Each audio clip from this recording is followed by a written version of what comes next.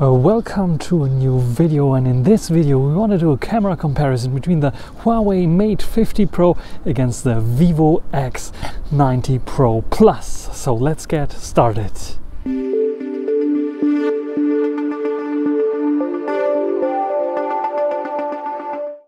It's a bit of a gloomy day, nevertheless I want to check out those two bad boys here and we have a 50 megapixel main sensor on both though the Vivo has a 1 inch uh, type sensor which is very very large in comparison to the 1 over 1.5 inch type sensor of the Mate 50 Pro. Then we have a 64 megapixel periscope, 3.5 times zoom lens on both. Then we also have a 2 times uh, zoom lens 50 megapixel on the Vivo X90 Pro Plus. And the Vivo also has a 48 megapixel ultra wide angle. The ultra wide angle on the, the Mate 50 Pro is 13 megapixels. And yeah this is basically it. It just has a light sensor there so nothing else. Let's check the front. We have a 13 megapixel um, yeah, front-facing camera on the Mate 50 Pro and a 16 megapixel front-facing camera on the Vivo X90 Pro Plus. I think we start off with the front video. This is now the front-facing video of the Huawei Mate 50 Pro and the Huawei Mate 50 Pro has a 13 megapixel front-facing video though it can also shoot 4K 30 that I'm using here right now and we have different magnification options. I'm at 0.8 times right now but if I want to have a bit of a wider field of view I can go to the wide angle. Here you can see a little bit of like the water getting a bit up, rising a bit up, high water uh, here on the Rhine in Cologne. And I can also go to the one times which looks like this. So very cool feature especially if you want to vlog. I like the 0.8 times a lot because this is the perfect distance for vlogging I would say. And as the quality 4k 30 is so good HDR as you can see here a little bit of sun eventually there in the background is also pretty okay. And yeah Mate 50 Pro wonderful vlogging front facing camera. What do you think about this one and here we have now the Vivo X90 Pro Plus front-facing camera. As you can see here from the quality directly, it's only 1080p. You can go up to 1080p 60 frames per second, but I'm using a 30 timeline, so only 30 frames per second here.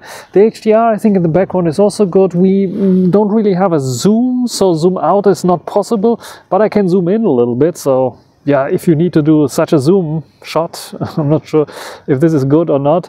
Anyway, it seems to be having autofocus or something. I'm not sure. I don't think it has autofocus, but at least I have probably the right amount of uh, space between me and the camera, so it is nice and sharp. What do you think about the front-facing uh, video here on the Vivo X90 Pro Plus? I'm recording with the Mate 50 Pro's main camera lens, the 50 megapixel RYYB sensor that they have here with a variable aperture as well. I think it is using f2 right now, but you can in darker conditions, it is a gloomy day right now, but if it gets even darker, it can open up to f1.4. It's doing this automatically in video mode and it can also close down depending on the situation. And yeah, this is the Mate 50 Pro's main camera lens. What do you think about this one here? And 4K 30 up to 4K 60 I can record with it, so no 8K recording possible. But I can switch between all camera lenses, so I can switch now to the ultra wide angle that is utilizing the same 4K 30 and this is now the ultra wide angle. What do you think about this one? Has autofocus, can be utilized for macro shots as well. What do you think about this one here? And then we want to do some zoom shots. So let's take a look at the zoom. It's a bit of windy, nevertheless. Let's try out a zoom shot here. Let's go quickly here up to switch lenses 10 times now and we can go up to 15 times zoom maximum. It's very stable I would say even in this windy condition and uh, this is how it will look like at 10 times roughly and uh, yeah you can see nice and sharp good quality now I'm using the Vivo X90 Pro Plus and it's one inch type sensor and this gives this nice creamy bokeh and even in this dim lit situation I think I should appear a little bit brighter. It should have a little bit less contrast as the Mate 50 Pro as well because this is the style that Vivo applies to their footage and uh, yeah I also have the possibility to, to record 4K 30, 4K 60 but also 8K though they're not stabilized. But what I can also do is of course switch to the ultra wide angle during recording. So now I'm using the ultra wide angle. This is now the ultra wide angle. This can be also used and utilized. Utilized also for macro shots, has autofocus as well, which is pretty, pretty nice indeed. And of course, I also have the ability to zoom in. So let's try to zoom in. Uh, same shot and let's quickly zoom in here. And this is one time, two times, switch lenses, three and a half times. I think it should should have switched lenses now and let's go up to the maximum which is 10 times and this is how it looks like at 10 times I'm not sure if it switched lenses because it has some issues with uh, lens switching sometimes, but yeah, it's a bit of noisy there. The shot, I think the Mate 50 Pro looked a bit better. And here again, a 10 time shot with the video, because if I zoom in from the one time lens, then it is not utilizing the three and a half times lens. It looks sharper when I go to the 10 times lens instead and start the video, as you can see here. It's very comparable to the Mate 50 Pro, I would say, but I think the Mate still has a little bit better details here. What do you think? Let's take a look at the photos on the left, always the Mate 50 Pro, on the right, always the Vivo X90 Pro Plus. We start off with the 50 megapixel high-res shot. We can clearly see here when I zoom in that the Vivo X90 Pro Plus with its main sensor is doing a better job. Less noise, less artificial uh, editing of the photo. It's AI mode on the Mate 50 Pro, so it's doing some editing. You can see some noise creeping in because, yeah, if you go without AI, you can clearly see there's a lot, a lot of noise, a lot of color noise and so on, less sharpened up. So it's doing everything in post with the AI mode that improves a lot but the Vivo X90 Pro Plus is definitely the winner here in this high-res shot. When it comes to 3.5 times zoom, both feature a 64 megapixel main um, telephoto camera and yeah, both are doing a good job at 3.5 times zoom, I would say. A bit brighter exposure on the Mate 50 Pro overall, the Vivo X90 Pro Plus, a lot more uh, contrast added and in this shot I think it's doing a better job. It is sharper. The, the Mate 50 Pro fails a bit with the sharpness sometimes, uh, especially on moving objects like this one here. But when I go to 10 times zoom, what we can see here clearly is uh, both utilizing the same sensor is that in terms of detail, again, more darker look on the Vivo X90 Pro, more brightened up, but detail level is the same, not much of a difference, as you can see here. When it comes to the ultra wide angle, we can see a color difference. Much bluer kind of colors on the Vivo X90 Pro Plus, a bit darker again, more contrast added. On the Mate 50 Pro, a bit more greenish, yellowish kind of colors. I think the colors are a bit more right on the Mate 50 Pro, even though it was the sky was not so gray here. It was a bit of tiny bit of blue in here. It was not as blue as it's uh, shown here on the Mate on the Vivo X90 Pro Plus. When we go to the far edges, we can clearly see we have like a difference in um, angle of view, 30 millimeters on the Mate 50 Pro, 14 on the Vivo X90 Pro Plus. Darker exposure, less details as well. A bit over sharpened on the Mate 50 Pro, but the 13 megapixels just give you more details here. See this dude with a, uh, sitting there with its mask. You cannot see it here on the Vivo X90 Pro Plus. At least it's not as sharp and vis clearly visible. So the ultra wide angle clearly is a win for the Mate 50 Pro.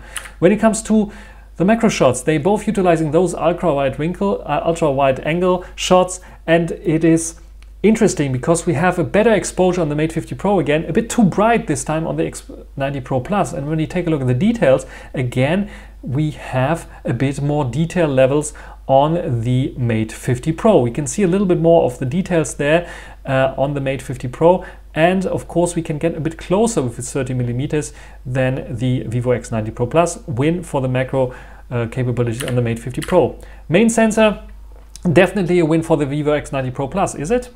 Yes, it is. Look at the sharpness here. A lot of heavily sharpening and over sharpening on the Mate 50 Pro. A bit, yeah, also sharpening definitely on the Vivo X90 Pro Plus, but not as intense. And the clarity, especially here, is much, much better. Just look at the bridge there in the background. Even though the color, the yellowish kind of color, I like a bit more on the 50 Pro, the color is more towards the blue here on the Vivo X90 Pro Plus, though it's a bit too punchy in my uh, case. But what you can do on the Vivo X90 Pro Plus, you can go to the Zeiss color mode, and then it has more pleasant pleasant colors, the right colors. You can see it's still a bit more blue, but not as intense blue as this color here. So less intense blue, and this is the right color. This is the far most realistic color ever. And you can see also that the green here corrected itself from the previous photo where we have a bit too punchy greens here. So yes, you can also do something with the Mate 50 Pro. It has the Xmage a bright and vivid mode, but forget about them. This is the bright mode. This is the vivid mode. Just simply forget about them. Just use the original mode and you come very close to what a Vivo X90 Pro Plus has with its Zeiss mode. A bit of more uh, yeah, contrast and a maybe slightly bit better uh, punch in the color on the, more punch in the color of the Mate 50 Pro. That's basically it. When it comes to selfies, very interesting because selfies, it's a completely disaster on the X90 Pro Plus for some reason. First of all, we have uh, overexposed sky, then we have a yellow face, we have like two green jacket, and the Mate 50 Pro is doing everything right. The sky is right, the skin color is right, the jacket color is right, the sharpness is right, even though 13 millimeters, uh, 13 megapixels, and uh, Vivo X90 Pro Plus has, um, yeah, the 32 megapixels. The sharpness is just simply amazing on the Mate 50 Pro. The Mate 50 Pro is definitely the selfie king in this case and wins against the Vivo X90 Pro Plus. When it comes to dim lit situation, I took a lot of photos during Christmas time under the Christmas tree with my family and so on, and I noticed some, yeah, underexposure on the Vivo X90 Pro Plus that you can clearly see as well. Also the detail levels is not as good as on the Mate 50 Pro. Here you can see it clearly on this little snowman where you have much more clarity. You can see much more little nitpicks in the woods, those little uh, unclean things there that are just smudged out on the Vivo X90 Pro Plus for some reason. So yes, the Mate 50 Pro is definitely doing some heavily post-processing, but it is just so much more information, so much more pleasant. Yes, you can see the T-Star coating here, uh, Zeiss T-Star coating on the Vivo X90 Pro Plus, where we have like not this star kind of uh, overexposure on this little LED lamp, but uh, yeah, it doesn't really help when the rest is little not really clear and unsharp. So yes, look at the angel here, the wings of the angel smudged out, much more detail on this little angel wing. When it comes to Another low light shots, again, I think the Mate 50 Pro has a slight edge here in terms of colors especially. It's a bit towards the yellowish here, but it's still okay, I would say, in terms of white. And here we have a bit of vignetting on the Vivo X90 Pro Plus. It's going to the green, which is like, uh, not right at all.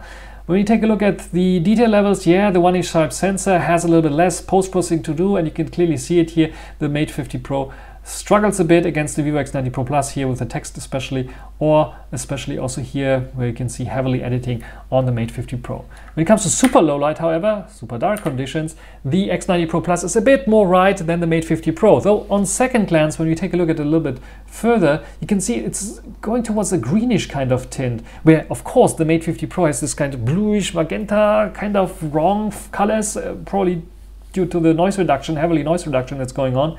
But the Vivo X90 Pro Plus, it should be a bit warmer here. It's going towards greenish, which I don't like so much. But this color here is right, and this is completely wrong. As you can clearly see the Mate 50 Pro in this super, super low light. I couldn't see the tools in front of me taking the photo uh, is winning. When you take a look at this photo, I wanted to show you how the bokeh works. With a 1-inch type sensor, you could expect I get more bokeh if I get close to an object. That's true, but with the Mate 50 Pro, we have this variable aperture that has also an f1.4 mode. And taking this with the f1.4 mode, we see a bit more contrast on the Mate 50 Pro, a bit darkerish kind of exposure. But when you take a look at the bokeh levels and at the detail levels, you can clearly see, yeah, not much of a difference. I would even say that there is a bit bookalicious, more bookalicious on the Mate 50 Pro, at least on the same level, on par here with the Vivo X90 Pro Plus. Very, very interesting. In terms of details and levels, you can see heavily HDR on the Vivo X90 Pro Plus, that even this LED lamp lost its lighting here. Uh, which is like, or it's light, uh, which is like very, very interesting. Uh, though, yeah, a little bit sharper here, you can see it as well. But uh, yeah, overall, I would just say, uh, yeah, uh, on par. But now comes to the very interesting part, and that blew me away on the Mate 50 Pro the bokeh mode, the artificial bokeh mode. Not natural bokeh mode is one thing, but a portrait mode, mm, how does it look with f1. Point, uh, f0.95? Uh, this is simply amazing on the Mate 50 Pro. It's doing everything right. The aperture mode on Huawei Mate 50 Pro is blew me away in this photo. It looks like taken from a DSLM.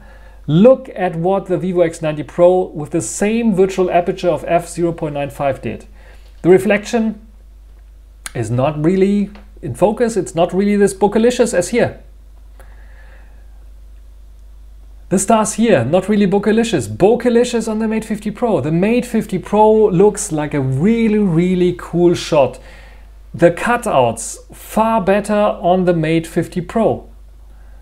Look at the top here, far better. Even this little, it, I'm, I'm blown away. I'm blown away by the Mate 50 Pro's shot of this here. Aperture mode, definitely Mate 50 Pro. Let's take a look at portrait shots. Portrait shots is a mixed bag because they're in this dim lit situations, but I wanted to take it realistically because I have so many photos of my family there. I'm a bit disappointed because like, uh, let's say six out of 10 photos with the Vivo X90 Pro plus were not really usable, especially in portrait mode when I was taking them uh, during Christmas. The Mate 50 Pro much, much better. It has like 8 out of 10 that were usable. Uh, and um, yeah, it's um, way, way better. And we can see it here with two times zoom. It's utilizing, I think, not the two times zoom lens on both, because Mate 50 Pro doesn't have one, but the Vivo X90 uh, Pro Plus looks like this in terms of sharpness, and the Mate 50 Pro like this. This gives the win already to the Mate 50 Pro if it wouldn't have this unrealistic colors because here the Vivo X90 Pro Plus is much more realistic even though I would say it is maybe a bit too brightened up but yes my shirt was black and was not blue. And yes my couch is not this kind of bluish uh, violet it is more this greenish kind of gray so yes, point for the Vivo X90 Pro Plus. But when we zoom in further, three and a half times, it's not utilizing, a, uh, this time it's utilizing the uh, three and a half times zoom lens on the Vivo X90 Pro Plus. You can see it's not consistent.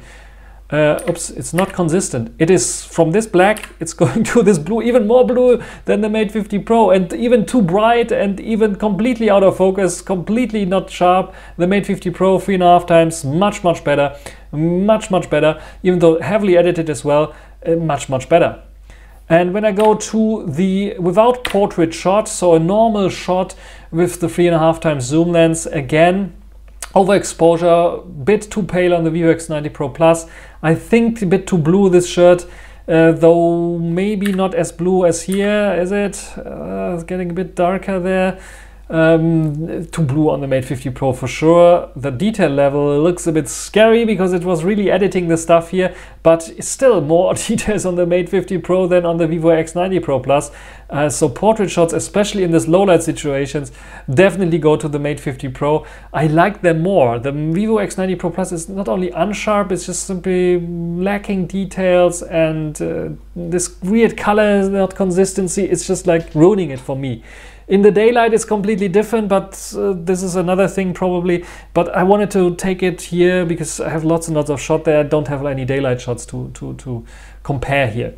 But overall, when, it comes to the who is the winner here, I have to give it to the Mate 50 Pro. It is more consistent with the portrait shots, getting good shots out of there, has the better ultra wide angle, has the better uh, macro mode in video, less bugs. Uh, Vivo X90 Pro, Plus, uh, Pro Plus has still some zoom issue bugs. But definitely the main camera on the Vivo X90 Pro Plus, the main sensor is way better than the Mate 50 Pros. Mate 50 Pro has heavily sharpening going on. Vivo X90 Pro Plus with its HDR is sometimes overdoing it, but then also has some very nice shots. The Mate 50 Pro is simply amazing with its aperture mode, where the Vivo X90 Pro Plus fails. And also the portrait mode is not the best. So overall, yes, the Vivo X90 Pro Plus has the better main camera sensor and definitely with updates they can compete with Mate 50 Pro and they're much closer together than it was with the Vivo X90 Pro Plus against the Xiaomi 12S Ultra. Though the slight win goes to the Mate 50 Pro because the overall camera package is just simply better than the Vivo X90 Pro Plus for now. Let's see how this change in the, changes in the future. That's everything for this video. Hope you enjoyed it. Write down some comments, some opinions. If you have a completely different opinion, if you want me to check out something else, write it down in the comments. That's everything for this video. Hope you enjoyed it. Thanks for watching. Until the next time. Bye.